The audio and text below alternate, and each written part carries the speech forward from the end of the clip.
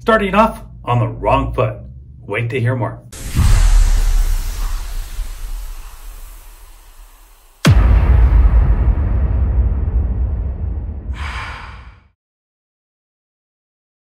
One very important communication aspect to always keep in mind, whether you're representing the buyer or the seller, is to always start off your communication in a positive tone. You never want to start off this initial conversation with the other agent on the wrong foot.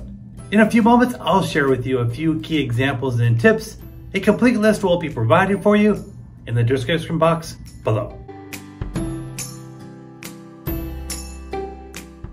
Here's a real life example of starting off on the wrong foot. As a listing agent, I received a call from a buyer's agent who had an offer to present and wanted to do it in person at my office with the sellers.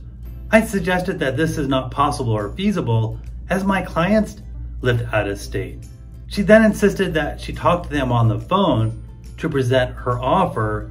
I mentioned I was not comfortable with this as my clients may not say the right thing and they hired me to effectively represent them. And she's welcome to present the offer to me, and I'll immediately present it to the sellers.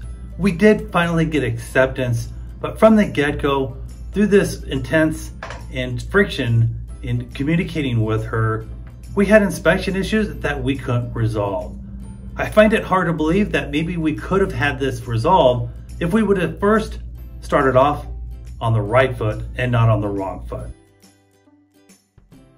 Thank you so much for watching my video. For more free real estate tips, simply follow me on Instagram, YouTube, and my Facebook accounts. Once again, this is Ken Mucha, buyer specialist with Team Bertola High Desert Realty, coming to you from beautiful Bend, Oregon. Thanks and have yourself an awesome day.